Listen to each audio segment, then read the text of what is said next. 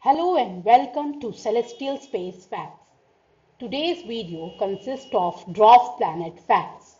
In 2006, the International Astronomer Union adopted the term dwarf planet for solar system objects that were bigger than small solar system bodies such as comets and asteroids, but not quite planets. The definition of a dwarf planet is an object orbiting the sun that is large enough to be rounded by its own gravity, but it is not gravitationally dominant in its orbital area and is not a moon.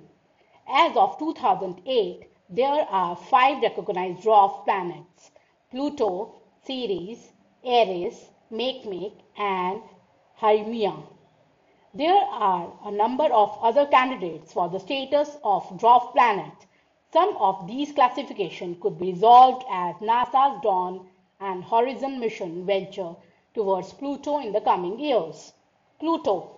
Pluto hit the headline in 2006 when it, is, it was demoted from a planet to a dwarf planet by International Astronomer Union. While most astronomers agreed with the new classification, some disagreed and still refer to Pluto as the ninth planet. Second is Ceres. Ceres is located in the asteroid belt between the orbits of Mars and Jupiter. It was discovered in 1801, well before Pluto and 45 years before Neptune. Ceres was considered a planet for around 50 years before being reclassified as, a, as an asteroid and once again in 2006 as a dwarf planet. Eris. Eris was discovered in 2005 and was referred to as the 10th planet until it was reclassified in 2006. It is the largest of dwarf planets. Makemake.